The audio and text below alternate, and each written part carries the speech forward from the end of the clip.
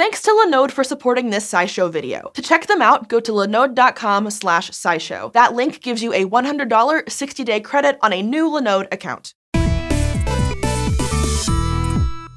If you've been around the internet, you may have noticed gas stoves ending up in the hot seat. That's because a bunch of studies have highlighted their links to indoor air pollution and certain health issues. That set off a debate among lawmakers about whether or not to slap regulations on these stoves. And it set a lot of us wondering if we need to rethink our relationships to this appliance we might have never thought twice about. The thing is, there is no easy answer, but we're going to take a look at what people are worried about and what you can do if you're concerned. Plus, we'll see why the future might be cooking with magnets. Now, people have been cooking over fire since well, they worked out fire. And while plenty of kitchens around the world have now gone electric, many people still cook over a flame using gas. Gas stoves became popular in the US in the early 1900s after they edged out traditional wood and coal stoves in many households. Even after electric stoves started making their way into homes a few decades later, gas stoves stayed popular. Many people just liked them, in part because of how easy it is to control the temperature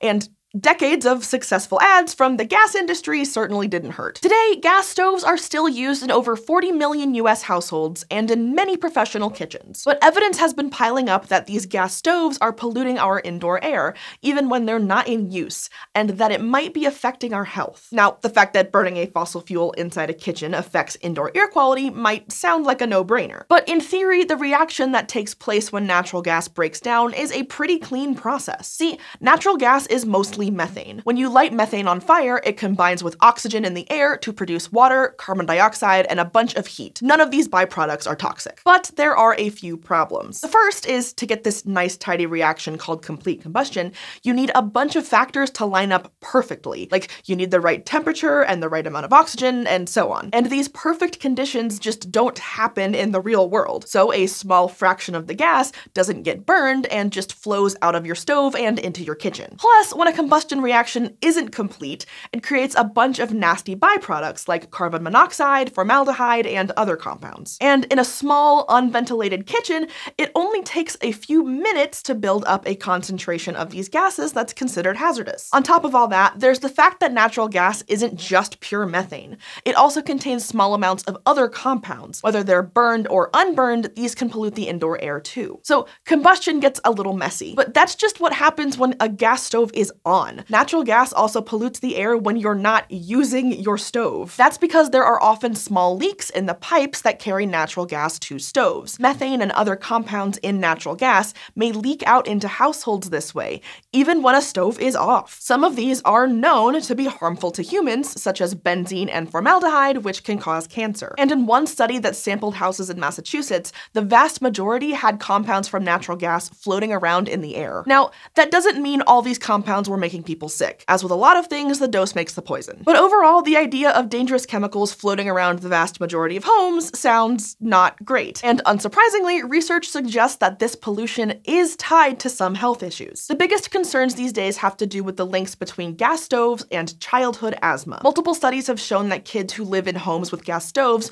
are more likely to develop asthma. Now, these studies haven't yet proven that gas stoves cause asthma because most of them are based on surveys, not experiments experiments. Surveys can show correlations, but they can't prove that one thing causes another. Still, it's not exactly surprising to see a link between gas stoves and respiratory conditions. Some of the main byproducts of burning natural gas are compounds made of nitrogen and oxygen known as nitrogen oxides, and these are known to irritate the respiratory system. They make airways constrict and can cause shortness of breath or coughing, even in low concentrations. Fortunately, the levels of nitrogen oxides produced by stoves don't seem to be a big problem for most adults, even those with asthma. But children can be especially vulnerable because they have smaller airways and are generally closer to the ground, where there are higher levels of these compounds. And sure enough, research has found that among kids with asthma, those exposed to higher levels of nitrogen oxides wheeze more often and need to use an inhaler more than kids with less exposure. Another study found that 13% of cases of kids with asthma in the US may be linked with the use of gas stoves. So that's been the biggest cause for concern. But gas stoves may also have health impacts that are harder to suss out or that just haven't been studied yet. That leaves many of us trying to decide what to do with all of this information. It's tricky, especially because the reality is our lives are full of pollutants. They come from our couches, our floors, our cleaning products, our heating systems, the list goes on. And that's just the pollution we encounter indoors. So it's not realistic to try to completely eliminate pollutants from our lives. And fortunately, many are tolerable in small amounts. But even though we can't avoid them completely, it helps to reduce risks wherever we can. And the good news is there's more than one way to do that. For many gas stove users, throwing out an expensive working appliance is just not in the cards. Plus, if you don't own your home, you usually don't have a choice what you cook on. Fortunately, if you have a vent over your stovetop, just turning that on can go a long way. One study found that in households with gas stoves, children were less likely to have asthma if the stove was used with ventilation compared to if there was no ventilation. Children in these households also had better lung function overall. Now, some vent systems are better than others, and none can completely counteract the risk posed by gas stoves. But the bottom line is the more you can swap out old air and keep fumes from building up, the better, even if the best you can do is open some windows. On the other hand, if you are eyeing alternatives to gas stoves, you have a few options. If you're committed to the experience of cooking over a flame, one way to do that more cleanly might be with propane. You might associate propane with the cylinders that you connect to a grill, but propane tanks can also be used for indoor cooking. Like natural gas, propane is a fossil fuel. It gets extracted from raw natural gas and petroleum. But propane is much more pure than natural gas. Whereas the methane in natural gas is mixed with a bunch of other compounds, propane fuel still has impurities, but it's mostly just propane. So it has a little less of the extra byproducts that come from burning other compounds or failing to burn them completely. That said, even though some experts think it's an improvement over natural gas, we couldn't find any research that clearly shows how much burning propane reduces health risks compared to natural gas. Now, no method of cooking indoors is going to be pristine. Cooking always releases some particles and compounds into the air that aren't great for the lungs. But if you can avoid burning gas, you can at least avoid adding nitrogen oxides to your indoor air. That could be big, especially if you have little ones in your home. One way to quit burning gas is to go with a trusty old electric stove. And yeah, electric coils take a little longer to get going, and you can't adjust the heat as fast,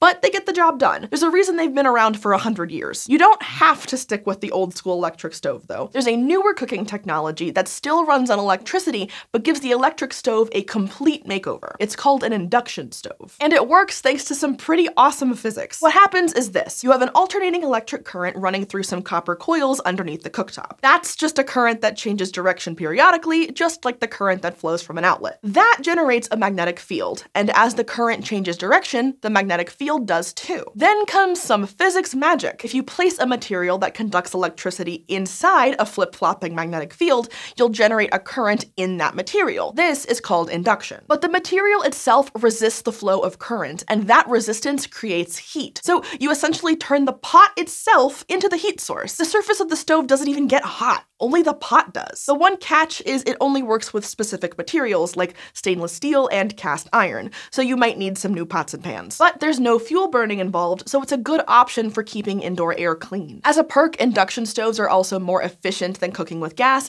and they're easier to control than traditional electric stoves. They can even heat food and water faster than other stoves. For now, they're still only used in a fraction of households in the US. That's partly because they tend to be more expensive than other stoves, and if you don't have an electrical outlet ready to go, you might need an electrician to get you set up. So switching stoves isn't necessarily hassle-free. But induction stoves are getting more popular and they offer a promising way to clean up our indoor air. The point of all of this isn't to remove every possible pollutant, but taking any steps to keep that air fresh may help your health. And the solutions won't look the same for everyone. Your own decision might come down to cost or the ages of people in your household. Maybe all you can do for now is open a window while you cook. Either way, here in the US, many of us spend the vast majority of our lives inside our homes. So it can be worth worth it to think about what else is in that home and how it could be affecting the air we breathe. This SciShow video is supported by Linode. Linode is a cloud computing company from Akamai that provides access to some of your favorite internet services, from streaming to storing files. It's so useful that it might make you wonder where it's been your whole life. But there's a reason that it's taken humanity this long to make cloud computing part of your everyday life.